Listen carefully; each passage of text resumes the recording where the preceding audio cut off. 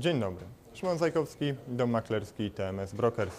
Od początku tygodnia wraz z brakiem e, ważnych wydarzeń gospodarczych na rynku walutowym dominuje nieco obniżona zmienność. Kurs euro-USD stabilizuje się w okolicach poziomu 1,3250. Uważamy jednak, że w tym tygodniu utrzymuje się większy potencjał do spadków euro-dolara, co potwierdziły m.in. wczorajsze dane w postaci indeksu ISM e, dla usług.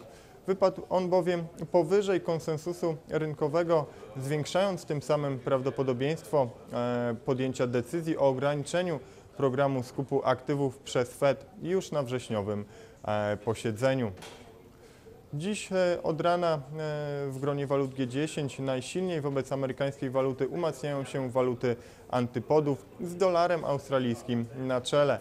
Jest to pokłosie decyzji e, Narodowego Banku Australii o obniżce stóp procentowych o 25 e, punktów bazowych.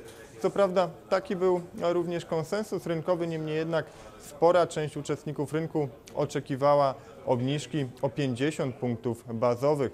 E, Ponadto Bank Australii w późniejszym komunikacie nie wypowiedział się już tak stanowczo, że zależy mu na dalszym osłabieniu dolara australijskiego.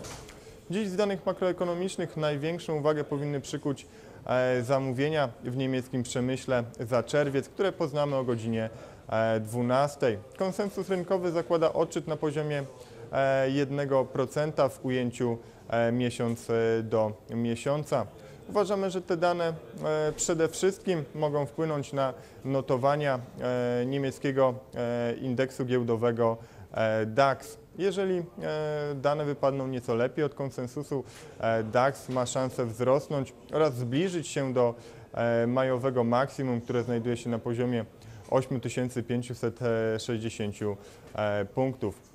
Złoty po wczorajszym umocnieniu od rana osłabia się. Wczoraj kurs EUR-PLN osiągnął minimum na poziomie 4,21.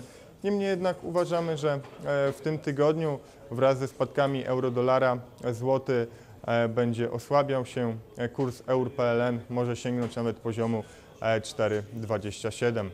Dziękuję za uwagę. Życzę udanych inwestycji.